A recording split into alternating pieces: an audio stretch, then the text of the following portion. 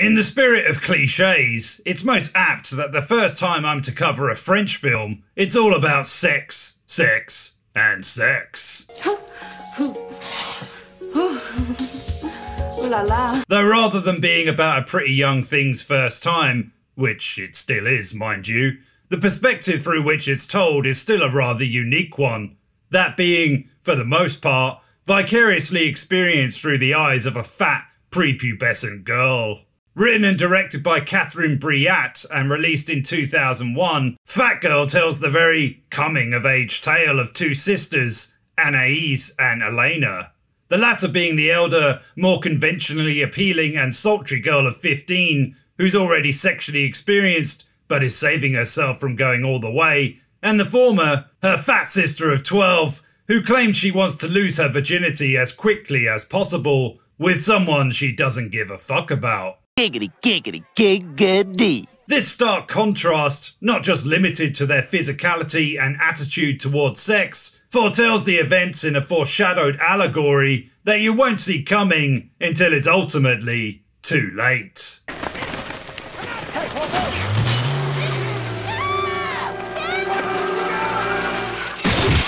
Shortly after this intro, another cliche is thrown into the mix through the presence of Fernando, an Italian Lothario law student in his early 20s, on holiday like the girls, who hones in on Elena as if there's a collective competition to alleviate her of her virginity as quickly as fucking possible. Before her coffee even arrives, he makes himself busy tickling her tonsils, all whilst Anais watches as she eagerly stuffs a banana split into her pie hole. Her sister's romance, if one can really call it that, is as sickly sweet and faux healthy as Tubby's dessert, as before we know it, Fernando is sneaking into the girl's bedroom Romeo style, armed to the teeth with Shakespearean cookie cutter sonnets and laughable insights regarding the true expression of love and how it should be physically acted upon, all in a bid to get Elena to give up the gash. Sorry, did he actually say gash? Though clearly intrigued of her own accord, Elena ums and ahs as to whether to go through with it, frustrating Fernando no end, or to his bell end, if you will, until the two come to a compromise and, much like the way he entered the room, settles on her back door instead. Giggity, giggity, giggity. Awkward, contrived, and painfully typical this is to watch is made all the more so by the fact we're also seeing it through Anais's eyes, who pretends to be asleep during the whole ordeal.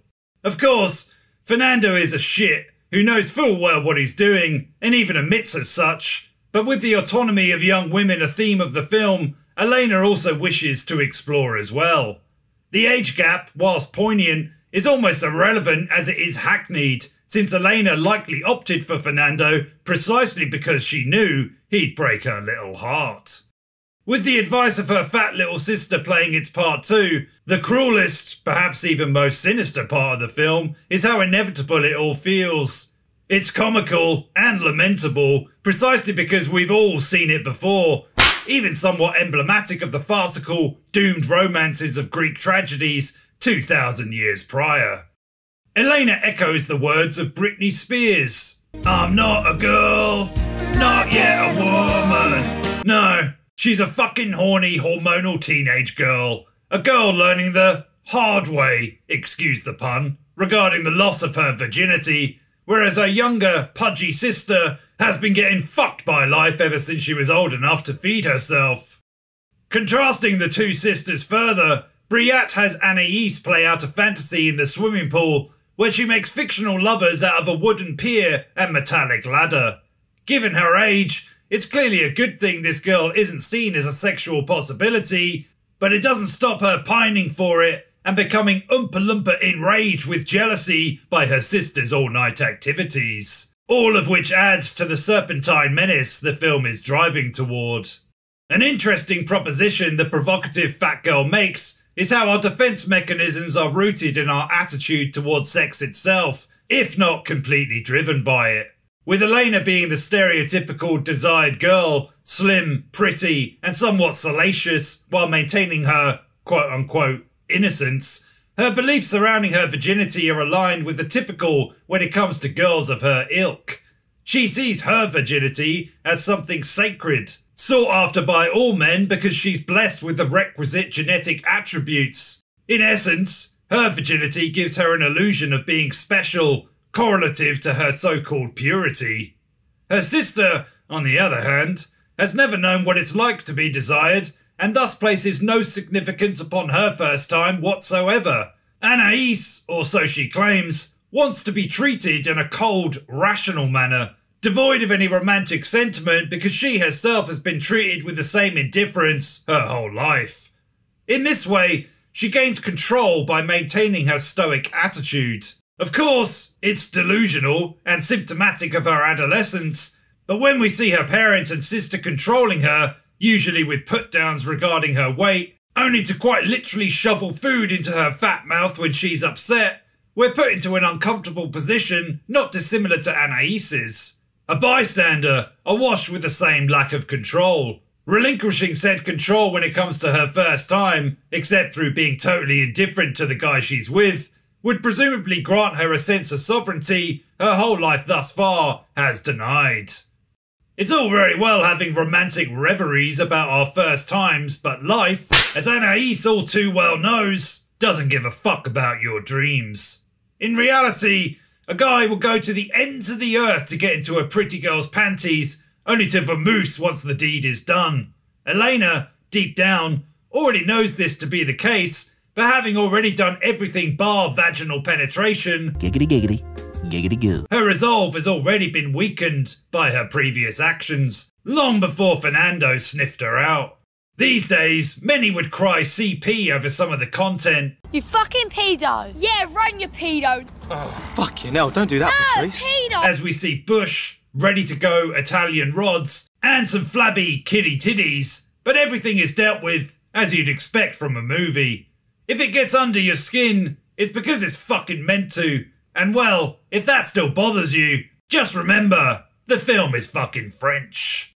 One underappreciated element is how well the film depicts the two sisters, who, despite knowingly looking like anything but, share a relationship that is undoubtedly familial. They bicker, insult, and rip on one another, but there's also moments of genuine, heartfelt connection where the uniqueness of their relationship is more than apparent. If I were to nitpick, I could accuse the mother of acting rather stupidly, as she's more than aware of Fernando's presence, yet acts shocked when she discovers he's been dipping his baguette into her daughter's olive oil. Considering she's what the boys would call a bona fide MILF, it stands to reason she would have received similar attention at the same age as her daughter, and yet prefers to play dumb until it can no longer be ignored. Maybe it was a case of denial, believing herself to be just as alluring as she once was, and naturally the only sexually active of the three, or maybe it was just a classic case of parenting de la merde. But given her own lasciviousness, it was a little hard to swallow. The best part of the film, however, is in its knockout, seemingly out of fucking nowhere ending. Once Mama knows what her slut daughter's been up to, she drives them both home along a motorway of oppressive trucks, menacingly depicted through rearview mirrors and the like.